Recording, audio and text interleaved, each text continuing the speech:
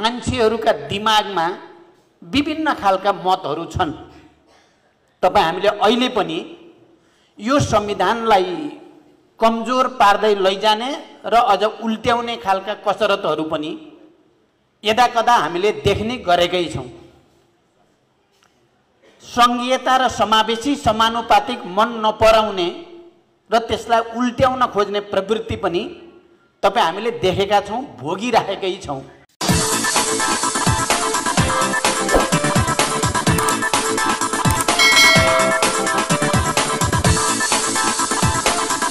संविधान सभाबाट संविधान बनाउँदै गर्दा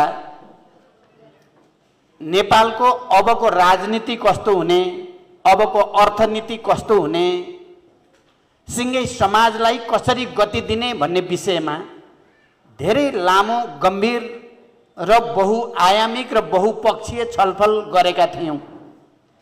र त्यसैको निचोडको रूपमा राजनैतिक रूपले अबको राज्य समाजवाद उन्मुख हुनेछ भन्ने संश्लेषण गरियो।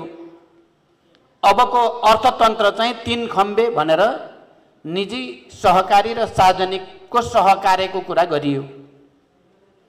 र राजनैतिक प्रणालीको हिसाबले सङ्घीय लोकतान्त्रिक गणतन्त्र जसको चरित्र समावेशी र समानुपातिक नेपाली समाजका सबै तबकाको समुचित प्रतिनिधित्व हुने प्रणालीको कुरा पनि गरियो। यी जे कुरा गरियो धेरै ठुलो सङ्घर्ष धेरै ठुलो बलिदान धेरै ठुलो वैचारिक राजनीतिक बहसको बिचबाट गरिएका संश्लेषण हुन् यी संविधानमा जे लेखिएको छ। तपाईँ मौलिक अधिकारको कुरा गरे पनि शिक्षा स्वास्थ्य रोजगारी खाद्य सम्प्रभुता जस्तालाई मौलिक अधिकारको रूपमा परिभाषित गर्ने कुरा पनि त्यही सङ्घर्ष बलिदान र बहसको बिचबाट भएको हो। तर अहिले पनि यो संविधान कार्यान्वयन गर्ने कुरामा समाजमा राजनैतिक वृत्तमा मान्छेहरूका दिमागमा विभिन्न खालका मतहरू छन्। तपाईँ हामीले अहिले पनि यो संविधानलाई कमजोर पार्दै लैजाने र अझ उल्ट्याउने खालका कसरतहरू पनि यदाकदा हामीले देख्ने गरेकै छौँ। सङ्घीयता र समावेशी समानुपातिक मन नपराउने र त्यसलाई उल्ट्याउन खोज्ने प्रवृत्ति पनि तपाईँ हामीले देखेका छौँ भोगिराखेकै छौँ। भने सहकारी आन्दोलनको पुँजीवादीकरण गर्ने त्यसको समाजवादीकरण गर्ने होइन। सहकारी आन्दोलनको पुँजीवादीकरण गरेर संविधानले प्रतिबद्धता व्यक्त गरेको दिशातिर जान नपाओस् बरु प्रतिगमनतिर भन्छौँ हामी पछाडितिर धकेल्ने प्रयासहरू भइराखेकै छन्। यस्तो बेलामा सहकारी कर्मीहरूको यो प्रथम राष्ट्रिय भेला भएको छ। नेकपा माओवादी केन्द्रको केन्द्रीय विभागको आयोजनामा।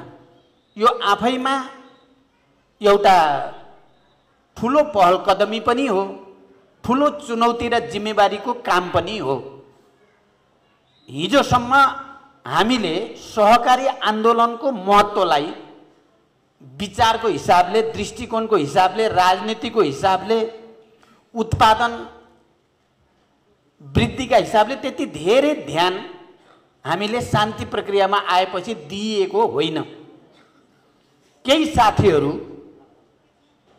गर्दै जाँदा सहकारी आन्दोलनमा जोडिनु भयो उहाँहरूले केही अनुभव प्राप्त गर्नुभयो उहाँहरूले पार्टीलाई घचघच्याउँदै लान थाल्नुभयो सहकारी आन्दोलनमा पार्टीको पहल कदमी र हस्तक्षेप जति हुनुपर्ने हो त्यति भएन भनेर पटक पटक यसलाई बहसको विषय बनाउनु भयो र आज त्यो बिस्तारै संस्थागत हुँदैछ र मलाई गरिएको रिपोर्ट अनुसार अहिले हाम्रो पहल कदमी सहकारी आन्दोलनमा हाम्रो संस्थागत विस्तार जिल्ला जिल्लामा स्थानीय तहमा पनि त्यो उत्साहवर्धक ढङ्गले अगाडि बढेको छ।